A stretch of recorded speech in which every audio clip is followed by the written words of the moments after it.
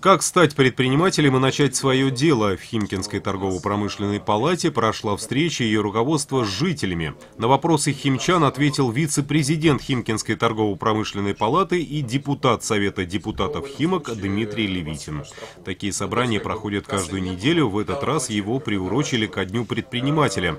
Среди присутствующих было много бизнесменов. Основные вопросы, которые их интересуют, как избежать рисков при открытии дела, как не пострадать в кризис, кризис и выгоден ли социальный бизнес? Много вопросов связано с финансовой поддержкой предпринимательства.